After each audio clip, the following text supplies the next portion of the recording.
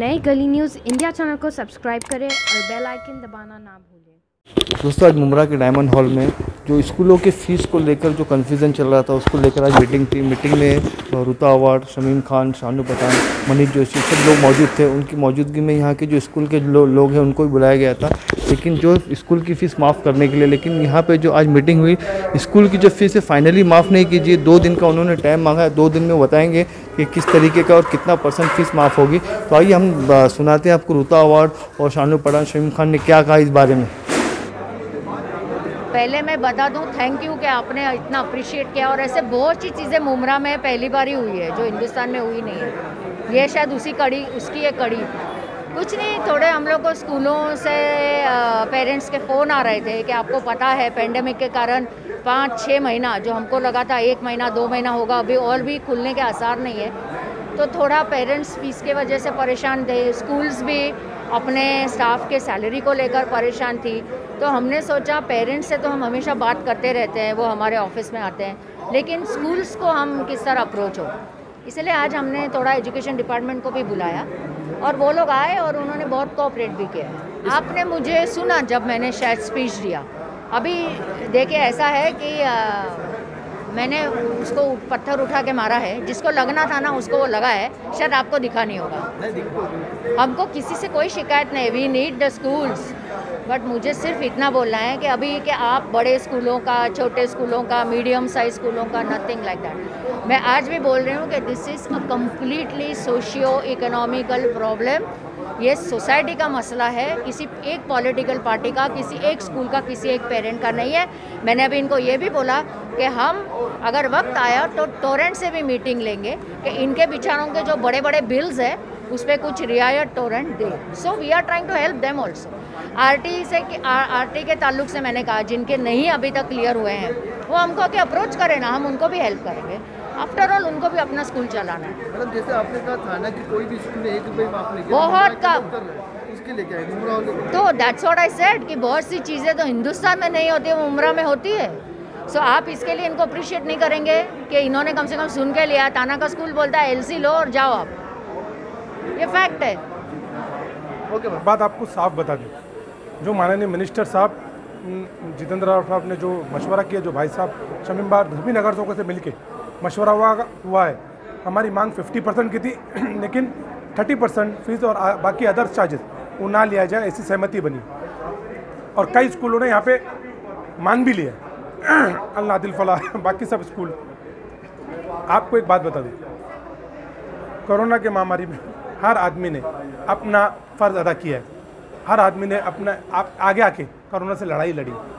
चाहे वो डॉक्टर के पेशा हो, चाहे सिस्टर हो चाहे पुलिस कमरी कर्मचारी, चाहे ऑफिसर चाहे सफ़ाई कामगार से लेके राजनेताओं ने, चाहे प्रेस हर आदमी ने आगे बढ़ के इस लड़ाई के लिए अपना साथ दिया है और आगे कुछ ना कुछ डिस्ट्रीब्यूट किया है, अपनी ज़िम्मेदारी निभाई। अब वक्त आ गया है एजुकेशन के डिपार्टमेंट से लोगों को आगे आने का। इसीलिए इस महामारी में जो प्रिंसिपल है और जो ट्रस्टी है, उनको अपना ज़िम्मेदारी निभाना पड़ेगी और वो अब उनका वक्त है। कि वो अपने शहर के लिए क्या कर रहे इस शहर ने सभी को बनाया है। हमारी ज़िम्मेदारी है अब देने का। क्या हम एक साल की फ़ीस के अंदर छः महीने की माफ़ नहीं कर सकते?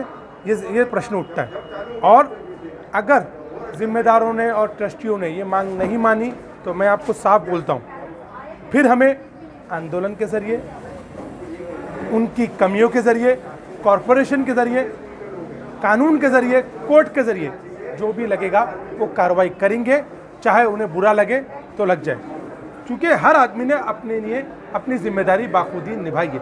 जब एक ट्रस्ट जब एक प्राइवेट ट्रस्ट एक जाति संस्था है, लाखों रुपए का पेंडेमिक में राशन और मदद मुहैया करा सकती है, कई संस्थाएँ एंबुलेंस दे सकती है तो क्या एजुकेशन डिपार्टमेंट और एजुकेशन की फ़ील्ड की ज़िम्मेदारी नहीं बनती?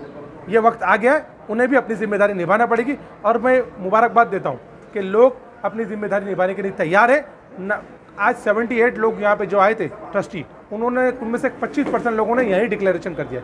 लेकिन हम ये चाहते हैं कि वो सुकून से दो दिन सोचे और एक ठोस निर्णय पे प्लेटफॉर्म पे आए, ताकि मुमरा कौसे की आवाम को सहूलत मिल सके। जवाब देने दीजिए मुझे आप। हर बात को राजनीति मत लीजिए। आज पूरे देश की बात करता हूँ मैं। मैं सुनिए सुनिए। सर सुनिए ना सर। अरे लोगों को बोलने दीजिए। जो काम करता है उसको लोगों की फ़िक्र नहीं उनको उसकी फ़िक्र नहीं होती जो कमेंट्स करते हैं। हमें हमारे आवाम की फ़िक्र है हम लोगों को हम दोनों को। हमारी आवाम के लिए हम यहाँ पे छः घंटे से बैठे हुए हैं। चार दिन से प्रोग्राम के लिए मेहनत कर रहे हैं। और मैं कहना चाहूँगा आपसे और आपसे कहना चाहूँगा सर कि ये जो ये बताइए ना कि अगर पढ़ाई नहीं हुई मैं जवाब दे रहा हूँ आपको। बंद था तो सर सुनिए ना। किस चीज़ की ले रहे हैं? सुनिए ना सर? सुनिए ना सर। ऐसा है कि ऑनलाइन मैं जवाब दे रहा हूँ ना आपको। अरे भाई आप जवाब तो लीजिए मुझसे आपने पूछ लिया तो जवाब तो मुझसे लीजिए। जो इस पढ़ाई का भी महिलाएँ अरे भाई आप आप भी खुद बोलेंगे हमसे पूछेंगे। आपने विरोध कर रही हैं कि हम अपने बच्चों को नहीं पढ़ा अरे सर आप जवाब जवाब तो मुझे लीजिए पहले आप। जो सुनिए ना। एजुकेशन डिपार्टमेंट ऐसा है एक मिनट। मैं जो ऑनलाइन अरे आप हो आप भी खुद बोलेंगे या आप पत्रकार क्या करें? मैं नहीं बोलूँ मैं। अगर पूछे मुझे जवाब जवाब लीजिए आप। आपने सवाल किया ऐसा मुझे जवाब ले लीजिए कि जो बातें हैं कि आपने कहा कि फ़ीस कुछ नहीं होना चाहिए आप कह रहे हैं। मैं इस पर जवाब देना चाहता हूँ आपने कहा पढ़ाई नहीं हुई। अरे सुनिए ना सर सुनिए ना सर। ऐसा है कि एजुकेशन डिपार्टमेंट का भी एक रूल्स होता है और उसके साथ साथ में जो भी स्कूल है अगर ऑनलाइन पढ़ाई की जा रही है तो उनके भी टीचर्स हैं उनके भी लोग हैं उनके भी खर्चे हैं। इसीलिए तो हमने कहा कि 30 परसेंट ट्यूशन फ़ीस को माफ़ किया जाए। इसीलिए तो हमने कहा कि ट्रांसपोर्टिंग को माफ़ किया जाए। इसीलिए तो हमने कहा कि अदर चार्जेस ना लिया जाए। जा रही है, ये जो चीज़ें हैं, ये आवाम के लिए ही की जा रही है। आज ऐसी मीटिंग और अल्लाह ने चाहा तो मुझे पूरी उम्मीद है हमारे इन स्कूल के ट्रस्टियों से, हमारे इन स्कूल के प्रिंसिपल से कि इन ताला ये शमीम खान की और शानू पठान की आवाज़ नहीं है। मैं कहना चाहूँगा मीडिया के माध्यम से, ये आवाज़ मुमरा कौसा की, एक एक उस आवाम की है, जिस आवाम को घर में खाने के लिए मुश्किल है। उस आवाम के लिए है, जिसको आज के डेट में ज़िंदगी गुजारने के लिए मुश्किल है।